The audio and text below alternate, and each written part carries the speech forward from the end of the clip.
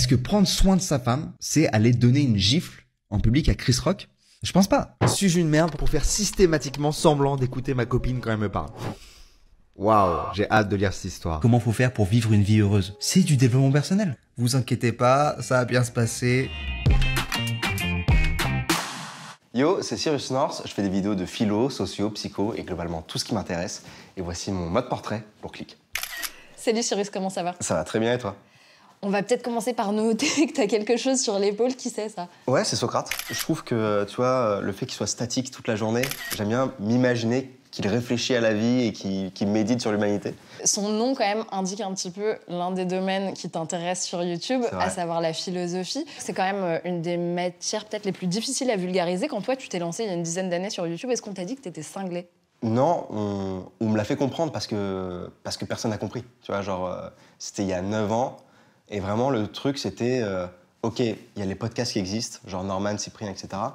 Et genre, putain, ça serait marrant, un Norman qui, au lieu de parler de kebab, il parle de philo, tu vois. Donc je l'ai senti que c'était cinglé, tu vois. Et c'est ce qui m'a plu aussi. Spinoza, c'est un philosophe qui est né à Amsterdam, qui est juif, d'origine portugaise. Donc il a sûrement été conçu dans un club échangiste.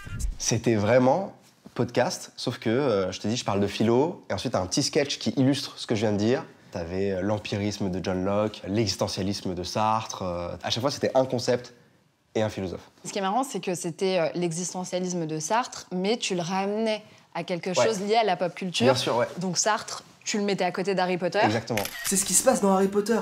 C'est pas le Choixpeau qui dit à Harry va à Gryffondor. C'est Harry qui demande au Choixpeau d'aller à Gryffondor. C'est lui qui fait le choix.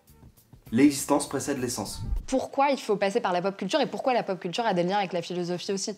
C'est facile à faire euh, et c'est intéressant parce que euh, ça permet aux gens tout de suite de comprendre que la philosophie, elle est partout. Elle est dans ce qu'ils aiment. J'aime Harry Potter. Tu me dis que dans, la dans Harry Potter, il y a de la philo. Bah, je vais aimer la philo. Qu'est-ce que tu conseillerais à quelqu'un qui a envie quand même de, s'initier à la philosophie? Parce que forcément, bah, on a l'image de philosophes pas très funky. Il y en a peut-être un qui est plus funky que les autres. Je trouve que les antiques, déjà, en termes d'écriture, euh, c'est plus facile à aborder, tu vois. Donc euh, je, pense à, je pense à Platon, je pense à Sénèque. Euh. et après, il y a des. En vrai, tu vois, un bouquin comme La philo pour les nuls, je trouve que ça fait, ça fait grave le taf.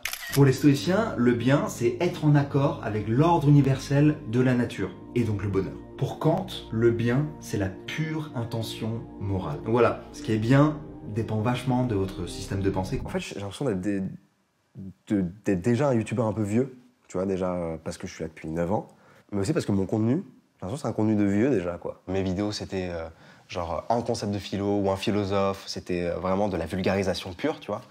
Euh, aujourd'hui, c'est plus, il se passe un truc dans l'actu, j'ai envie de réagir sur, bah, par exemple, tu vois, le vaccin, Will Smith qui donne une gifle, tu vois, ce genre de choses. Si elle nous dit, ce dont j'ai besoin, c'est que tu ailles donner une gifle à Chris Rock, bah là, effectivement, aller donner une gifle à Chris Rock, c'est prendre soin de sa femme. Mais vraiment, si elle vous dit ça, posez-vous des questions sur votre femme. Au début, voilà, je parlais de la philo et euh, je rattachais ça à moi. Aujourd'hui, c'est l'inverse. C'est, je pense que je pars de moi et mes expériences et je le saupoudre de, philo, en fait. Et quelles sont les expériences que tu as faites? Il y a effectivement devenir un cyborg. Ça, ça consistait en quoi déjà?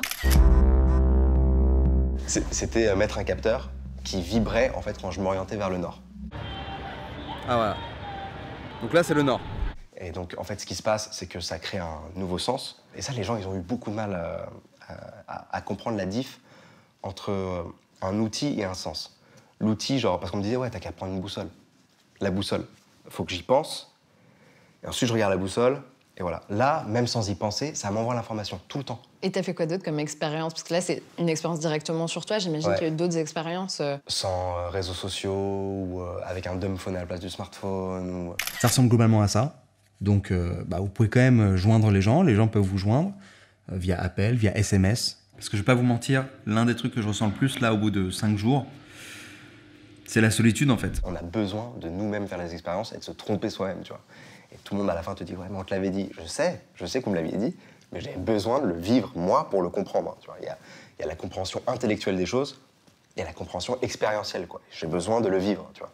Et j'aime bien aussi euh, me foutre un peu de la gueule de, de certaines personnes qui le testent très premier degré. À la fin, ils disent ouais, c'était une expérience incroyable, etc. Et, tout. et moi, j'aime bien, tu vois, genre arriver à dire, ok, c'était de la grosse merde, pour telle et telle raison, tu vois. Et je pense que c'est ce que les gens aiment aussi. Et ton rapport avec ta communauté, il est comment? Je les kiffe. En vrai. Euh, c'est les parapotes, c'est ça? Les parapotes, parce que Pourquoi? C'est une relation parasociale. Euh, C'est-à-dire qu'en gros, eux, ils me connaissent, moi, je les connais pas.